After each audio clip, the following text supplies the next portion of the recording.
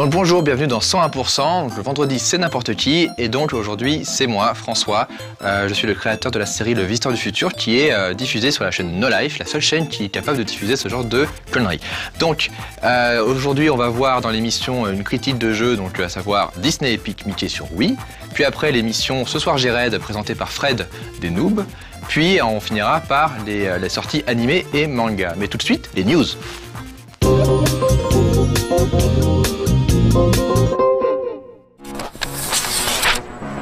In my world, nothing's ever soft and easy. Unbound Saga se présente sous la forme d'un beat'em all où l'on dirige un gros bill et une folle de la machette à l'intérieur des cases d'un comic book. On pense tout de suite au Comic Zone de la Mega Drive, mais aussi au tout récent et plutôt sympathique Comic Jumper, disponible depuis peu sur Xbox Live Arcade. Unbound Saga comme Comic Jumper est réalisé en 3D, mais doté d'un gameplay 2D. Jouant lui aussi sur la veine parodique, il s'avère un peu moins drôle et surtout bien moins varié. Il affiche en revanche deux héros à l'écran. À deux, chaque joueur prendra le contrôle d'un personnage, tandis qu'en solo, il est possible de switcher de l'un à l'autre. Si on peut bien entendu éclater une tonne d'ennemis qu'une main géante dessine sous nos yeux à l'écran, les décors sont également destructibles et il est même possible de s'armer des débris. Malheureusement pour Unbound Saga, le genre beat'em all est largement représenté sur XBLA. Et la concurrence, composée de titres aussi accrocheurs que Scott Pilgrim, Shank, Comic Jumper ou même Final Fight, ne laisse aucune chance à ce titre qui a bien du mal à digérer ses influences.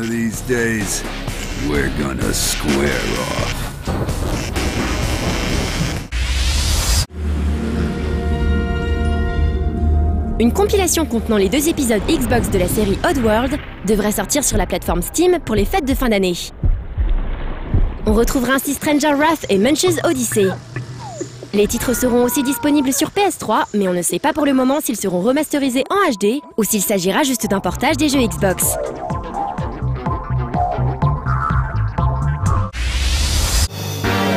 SNK devrait distribuer plusieurs titres Neo Geo sur le PlayStation Network à l'occasion des 20 ans de la console. On retrouvera ainsi des grands hits comme Metal Slug, Magician Lord, Samurai Showdown ou encore Fatal Fury par exemple. Les jeux seront téléchargeables sur PS3 et PSP à des prix différents selon la console.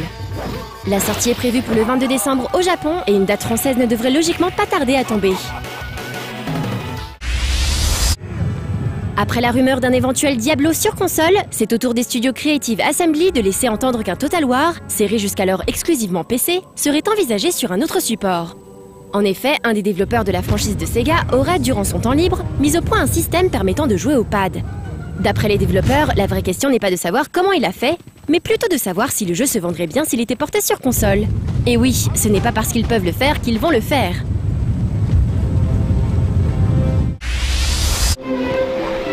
Une petite info pour les fans de Disney Epic Mickey et surtout de Warren Spector. Sachez que le game designer interviendra au Forum des images à Paris à l'occasion de la 8e édition du Carrefour de l'animation qui se tient du 8 au 12 décembre. Warren Spector partagera son expérience conséquente de la création et donnera une conférence sur les étapes du développement de Disney Epic Mickey le dimanche 12 décembre à partir de 16h.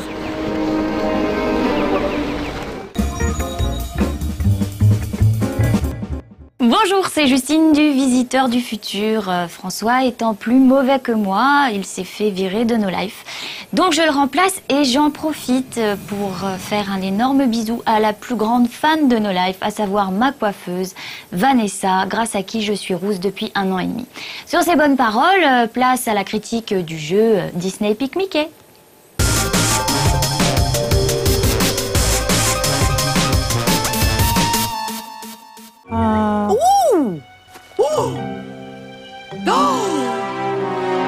Les premiers trailers d'Epic Mickey avaient laissé entrevoir un univers plus sombre et mature que ce à quoi nous avait habitué la souris vedette de Disney. Rien d'étonnant à cela, sachant qui était aux commandes du projet, Warren Spector. Le papa des System Shock et Deus Ex, cher au cœur de Julien Pirou, comme en témoigne le Retro and Magic consacré à la série des System Shock, affectionne tout particulièrement les mondes pas si joyeux et la notion de choix moral, le joueur devant assumer les conséquences de ses actions. Appliqué à Mickey, ces principes donnent naissance au monde de la désolation, dans lequel vivent tous les personnages désormais oubliés de Walt Disney, loin des paillettes et de la gloire qu'ils ont autrefois connue. Le pari était osé pour Warren Spector et son studio Junction Point, Mickey étant souvent mis en scène dans des univers colorés, joyeux et plutôt insouciants. Comment allait-il donc pouvoir se débrouiller pour créer un monde cohérent et crédible alors que la souris phare de Disney évolue habituellement dans les environnements à mille lieues de ceux proposés par Epic Mickey?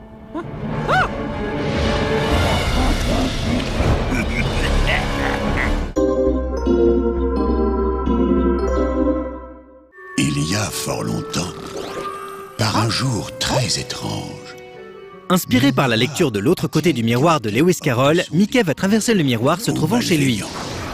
C'est comme ça, euh, on ne discute pas, euh, normal. En passant de l'autre côté, il arrive chez Yensid, le magicien de Fantasia. Ce dernier est en train de mettre la touche finale à sa dernière création, un monde qui abritera toutes les anciennes vedettes, aujourd'hui oubliées de tous, des premiers films Disney. Alors que le vénérable mage ayant finalement achevé son œuvre se retire pour prendre un repos bien mérité, Mickey s'empare inconsidérément du pinceau magique utilisé par Yensid afin de s'essayer lui aussi à la magie. Ce qui devait arriver arriva, non seulement Mickey sème le chaos dans le monde de la désolation, mais en mélangeant la peinture et le dissolvant, il va également donner naissance à un effrayant monstre qui va encore plus aggraver la situation déjà peu enviable du monde. Pris de panique, Mickey court vers le miroir afin de réintégrer son propre monde et à mesure que le temps passe, finit par oublier l'incident. Mais plusieurs mois plus tard, le monstre qu'il a créé, ayant acquis suffisamment de puissance, vient chercher Mickey et l'entraîne de force dans le monde de la désolation. Arrivé contre son gré dans ce monde ravagé et inquiétant, Mickey va devoir trouver un moyen de rentrer chez lui et, éventuellement, de restaurer l'harmonie du monde de la désolation qu'il a lui-même dévasté. Pour ce faire, il bénéficiera de l'aide de Gus, le chef des Gremlins, un peuple apparemment adepte de l'ingénierie à la russe. Si ça marche pas, tape dessus avec ta clé molette jusqu'à ce que ce soit réparé. Et d'Oswald, le lapin chanceux, la toute première star de Disney, qui considère que Mickey lui a volé la vie et la gloire qui auraient dû être les siennes. Le reste de son périple ne dépend plus que de vous.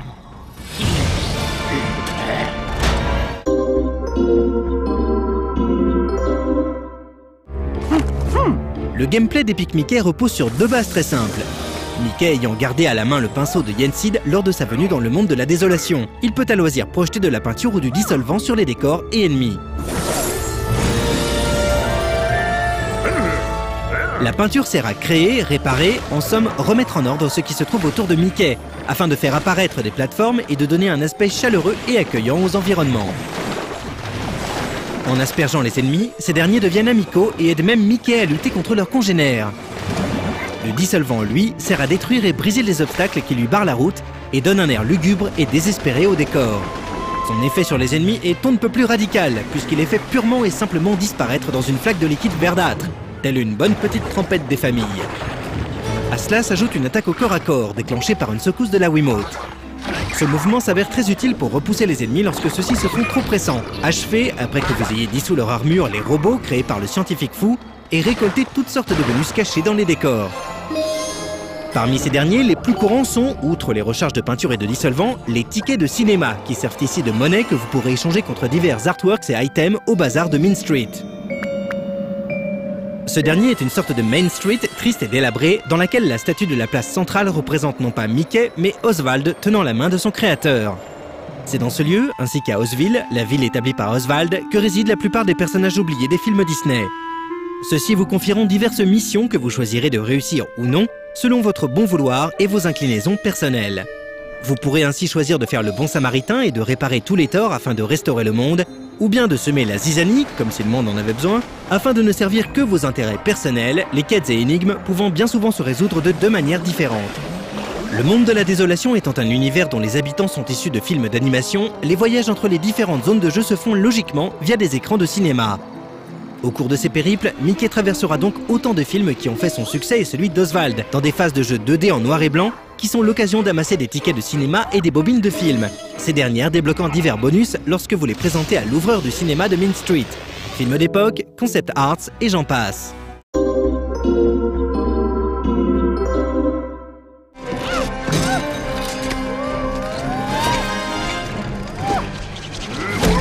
Epic Mickey dispose d'une ambiance graphique et sonore en tout point magistrale. Les mélodies tour à tour épiques, mélancoliques et inquiétantes participent grandement à l'immersion dans cet univers à bout de souffle et quasi désespéré qu'est le monde de la désolation, soutenu par une direction artistique à couper le souffle. Alors oui, on est sur Wii et ça se voit. Mais nul besoin de Full HD relief pour être plongé dans l'univers créé de main de maître par le studio Joy Chung Point. Les environnements peuvent être à votre gré, joyeux et colorés, ou mornes et lugubres, l'ambiance d'une même zone changeant du tout au tout lorsque vous l'aspergez de peinture ou de dissolvant. Il est seulement un peu dommage que, peu importe les efforts que vous fournissez dans un sens ou dans l'autre, afin de les restaurer ou dégrader intégralement, Main Street, Osville et les autres aires de jeu reprennent immanquablement leur aspect mi-figue mi-raisin dès l'instant où vous les quittez. Il aurait été appréciable qu'elles gardent les marques de votre passage d'une visite à l'autre. Un autre reproche, mais le mot est un peu fort, est aussi à faire au voyage entre les diverses zones. Si les phases de plateforme en 2D sont très appréciables, inventives et plaisantes la première fois qu'on les parcourt, certaines quêtes forcent à faire des allers-retours entre Main Street et Osville et il devient vite lassant de parcourir plusieurs fois de suite le niveau intermédiaire dans un sens puis dans l'autre. Le vrai gros bémol du jeu réside dans la gestion de la caméra, qui peut être centrée derrière Mickey grâce au bouton C et orientée manuellement avec la croix directionnelle de la Wiimote. Par défaut, l'angle de vue sera souvent peu pratique dès lors qu'il faudra réaliser des sauts précis, ou pendant certaines batailles contre plusieurs ennemis à la fois. Encore pire, les contrôles manuels refuseront parfois tout simplement de fonctionner, vous laissant vous débrouiller avec une caméra placée d'une façon laissant franchement à désirer. En outre, oubliez l'idée d'asperger les ennemis ou les décors du haut d'un surplomb. Le plus souvent, Mickey barbouillera juste ses pieds de peinture ou de dissolvant malgré le fait que sa cible paraisse atteignable par un tir direct. Cependant, ces défauts ne ternissent aucunement le plaisir qu'on éprouve à incarner Mickey dans cette aventure atypique pour la souris star de Walt Disney. Rythmé de bout en bout, muni de quêtes nombreuses et variées permettant diverses résolutions et offrant moult choix moraux, le périple proposé par Epic Mickey vous tiendra en haleine jusqu'à son dénouement. Dénouement qui ne se présentera pas à vous avant au moins une bonne dizaine d'heures si vous rushez le jeu et facilement une grosse quinzaine, voire beaucoup plus si vous flânez et que vous prenez le temps d'explorer l'univers comme il le mérite afin d'assouvir votre collectionnite aiguë. Sachant que le jeu propose 4 fins différentes selon les actions que vous avez choisi d'accomplir au fil de l'histoire, la replay value est également au rendez-vous de cette production d'exception. Pour conclure, si le pari de faire d'Epic Mickey un jeu à l'ambiance sombre et mature et à plusieurs niveaux de lecture, convenant ainsi aux enfants comme aux adultes, était loin d'être aisé, force est de constater que Warren Spector et son équipe l'ont remporté haut la main, faisant de ce soft l'un des meilleurs jeux Wii de l'année 2010.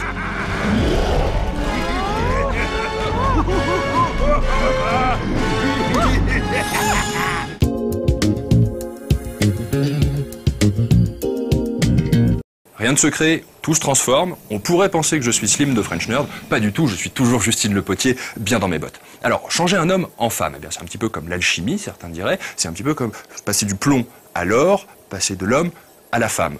D'autres, en revanche, disent qu'on s'en fout et qu'on regarde ce soir Géred. Et ils ont raison. Tu as posé tes jours de congé? Tu as éteint ton téléphone? Tu as rempli ton frigo de boissons énergisantes? Tu es prêt à subir des jours de pecs effrénés? Eh bien, ça tombe bien, parce que ce soir, on raid.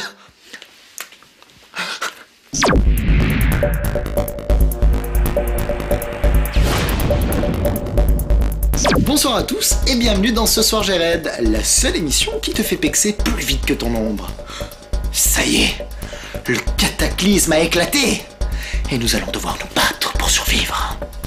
Mais l'actualité des jeux vidéo ne s'arrête pas là et je vous propose de découvrir celle de cette semaine.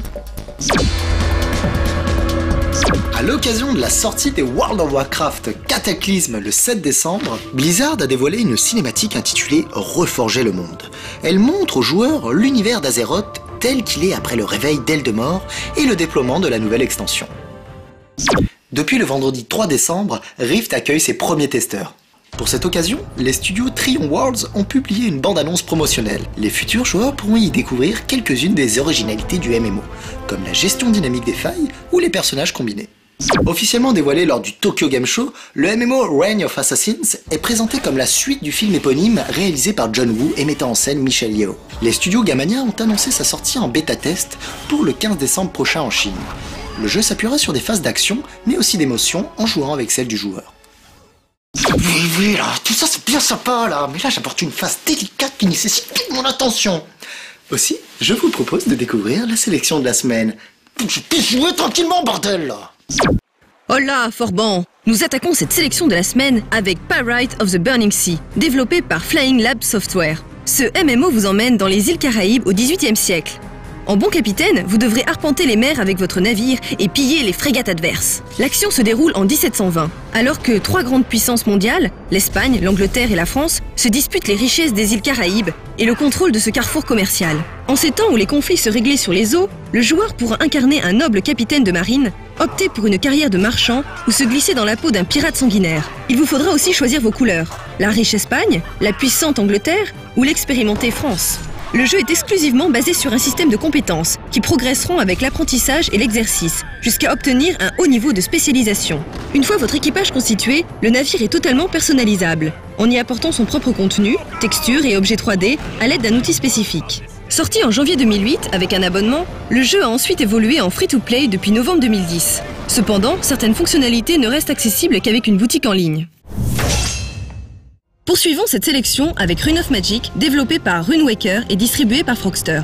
Ce MMORPG free-to-play reprend les classiques de l'heroic fantasy, plongeant le joueur dans un monde de magie où il croisera des créatures fantastiques et tentera de résoudre les mystères d'un ancien royaume. L'histoire se déroule dans le monde de Taboera, où les humains étaient jadis guidés par Aivenas, leur divinité.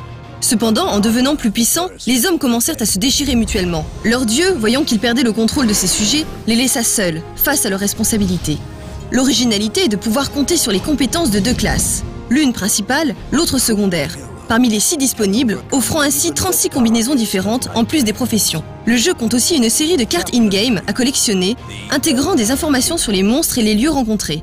Le joueur pourra également acquérir sa propre maison et la décorer selon ses goûts. Côté gameplay, les principaux ingrédients sont là. PVE, PVP, donjons instanciés, guildes et montures. Le jeu est disponible depuis mars 2009 et depuis s'est vu renforcé par une extension.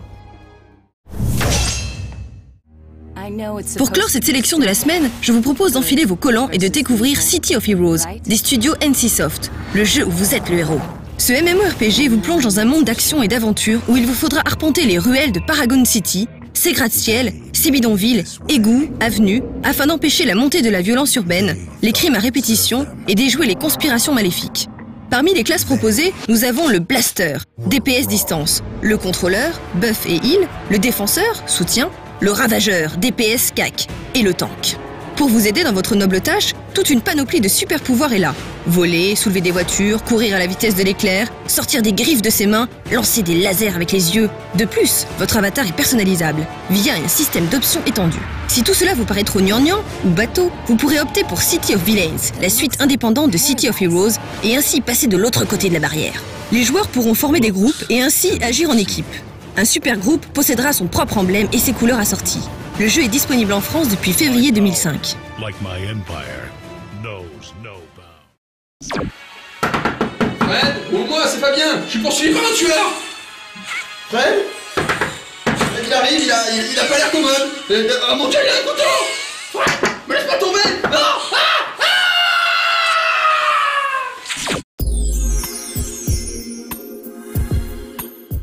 de retour sur le plateau de 101% où euh, j'aimerais bien faire une blague euh, sur le fait que je passe après Slim et euh, voilà donc le Slim est-ce que tu peux m'aider là-dessus parce que voilà je, sachant qu'il faut pas que ce soit trop explicite non plus tu vois peut-être Alors, pour la tournée, la tournée. déjà, je pense que tu t'es foiré parce qu'il Ouais. faut plutôt que passer après, c'est Ouais. passer derrière. Passer derrière ah oui là, Voilà. Là, tout de suite, la perche vers le côté graveleux est plus, Ouais. plus évident. d'accord ok Donc tu peux dire, je sais pas, euh, ça fait mal de passer derrière Ça Slim, fait mal. surtout à Slim, tu vois, ou D'accord, ok. genre, enfin, faut- ouais, je pense qu'on est obligé d'être sale en fait. ouais je pense qu'on peut pas euh, on- Parce qu'en fait, l'idée que tu veux dire, c'est que tu me, l'idée que tu veux véhiculer, c'est que je, je- je sais pas dis- dis-moi tu, tu, bah, tu me, enfin, tu, bah, si tu, tu es derrière moi, tu. Non mais en fait je pense qu'on n'a pas on pas compris la même blague en fait.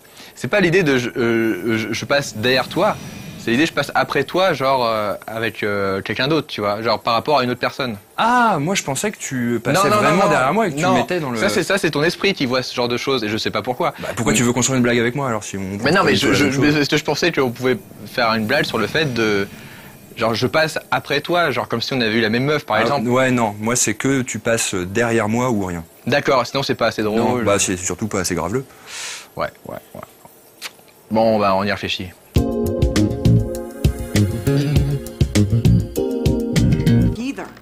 More toys than you know what to do with. Some of them could make other kids really happy. What kids? The children at the daycare. They're always asking for donations. What's daycare?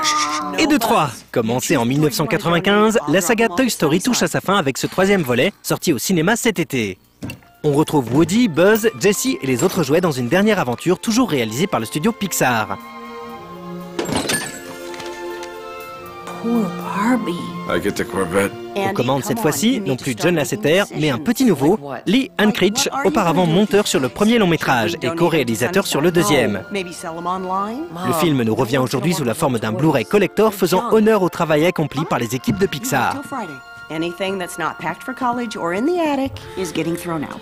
Whatever you say, Mom. Le temps a passé et Andy, l'enfant à qui appartenaient les jouets, est maintenant en âge d'aller à l'université. Ne pouvant se résoudre à les jeter, il décide de les stocker dans son grenier. Malheureusement, un concours de circonstances les fera atterrir par erreur à la garderie Sunnyside, tenu par un ours en peluche débonnaire, Lotso.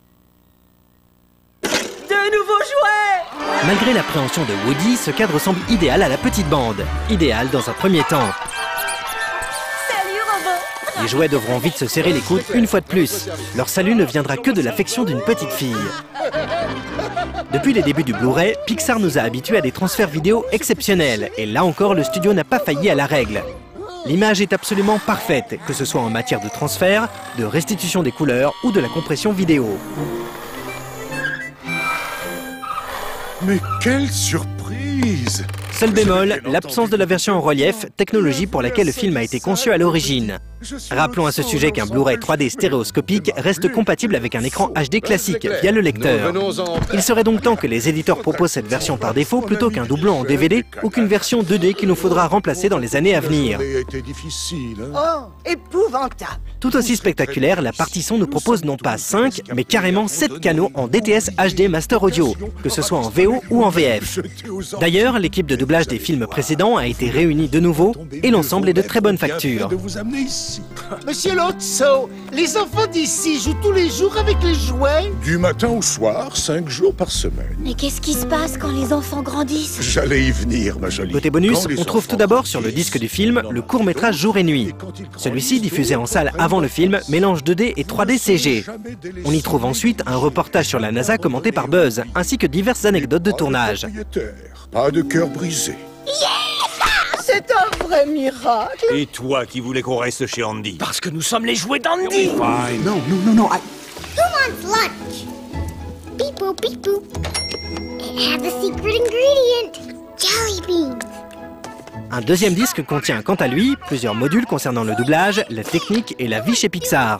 Un quiz sur l'ensemble des trois films essentiellement destinés aux plus jeunes. Et pour finir, l'intégralité du film commenté interactivement par l'équipe de réalisation à l'aide de diverses séquences qui apparaissent en incrustation.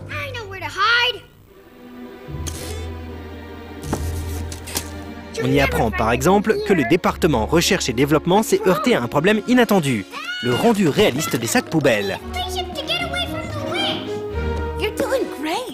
Alors, qu'en est-il de ce Toy Story 3 Malgré quelques séquences un peu disneyennes, ce film riche en émotions est le final que beaucoup de fans attendaient. Oh Sa version Blu-ray devient quant à elle une nouvelle référence pour convaincre les réfractaires à la HD. Il vous emmènera vers l'infini et l'au-delà Bah oui eh, Fallait bien la faire une dernière fois celle-là. Are you a real cowboy? Well, actually. Of course he's not pea brain. You don't even have a hat. I do too have.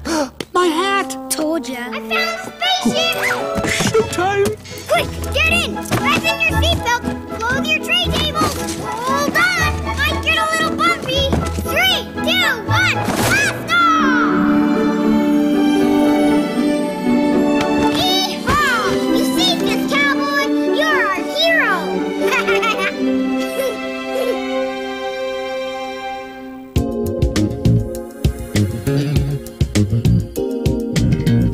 Présenté par l'éditeur Kazé lors de la dernière édition de Japan Expo, Karakuri Doji, Ultimo est le fruit de la collaboration de deux stars de l'art séquentiel.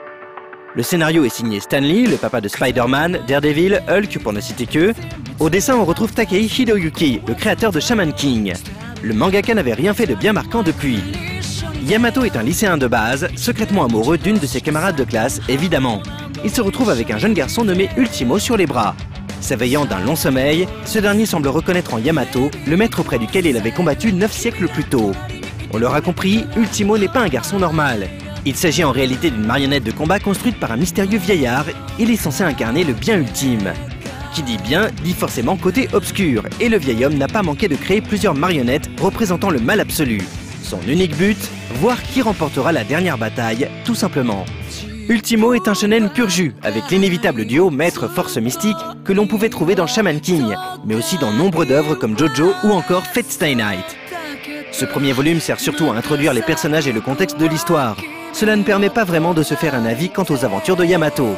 On attendra donc la suite pour enfin voir de quoi il en retourne.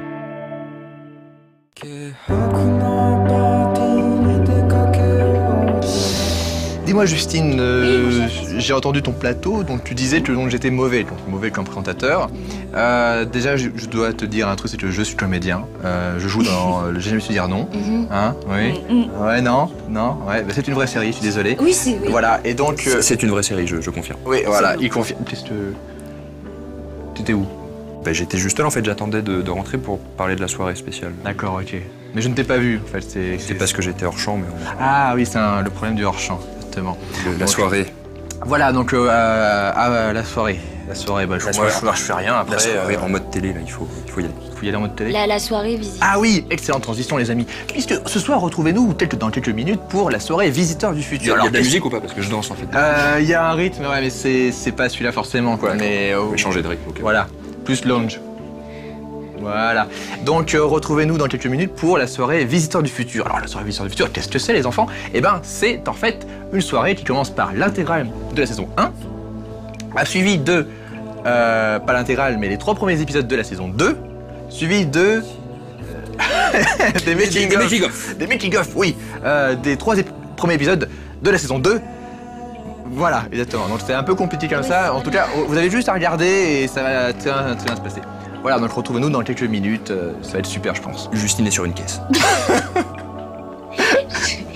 Absolument. Voilà. Voilà. Et Slimane est à genoux.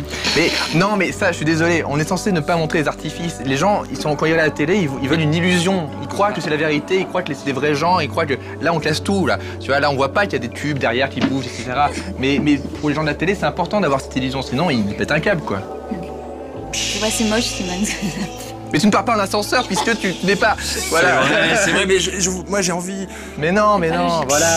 Non, ça me sur le côté, ça marche.